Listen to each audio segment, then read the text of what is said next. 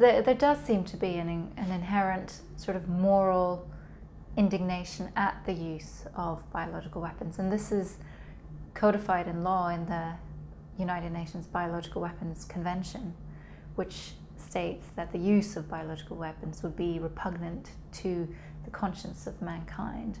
Um, and so it does kind of um, have this um, yuck factor almost, if you like, um, in it that makes it so different from other weapons, from, from a gun wound or a, a bomb or a landmine or something like that.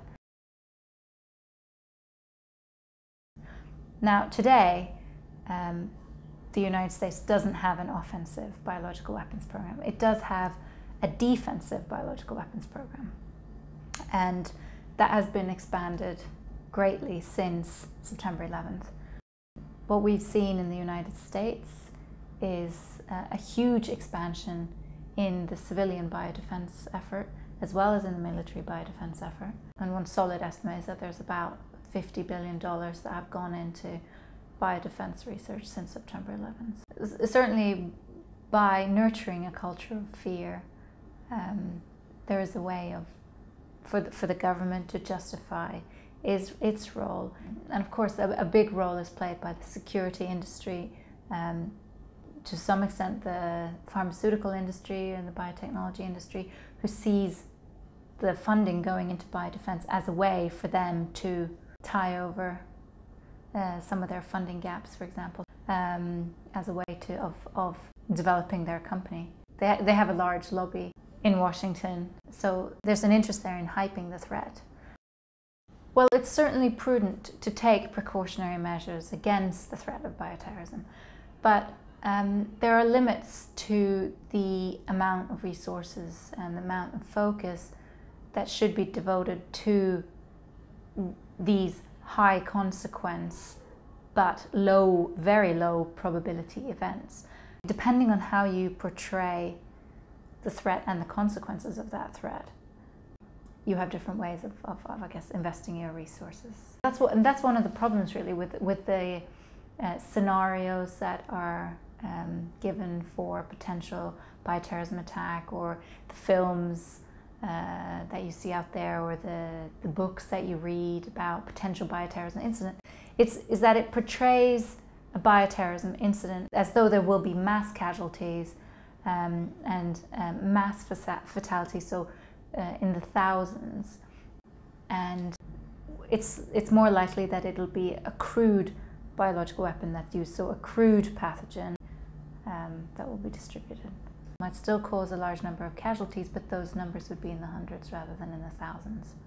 Um, so it's a misdirection of the focus. And a lot of this comes um, because of the scenarios that are uh, put on the table as um, possibilities of what would happen.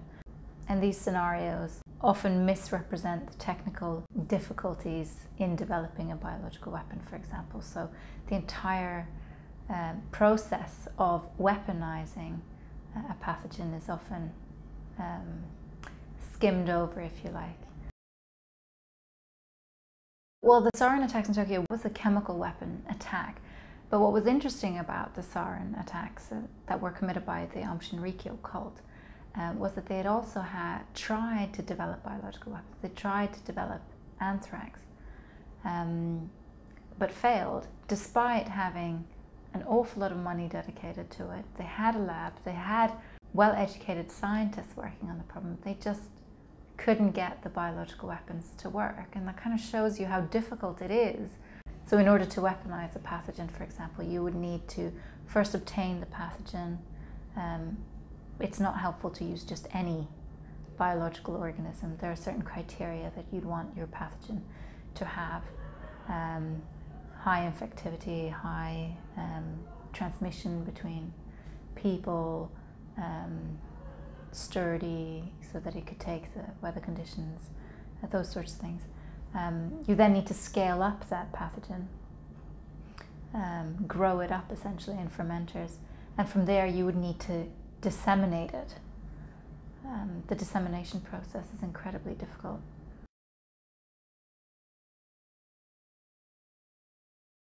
The government is trying to respond to what it sees as a risk by increasing the biodefense industry or complex.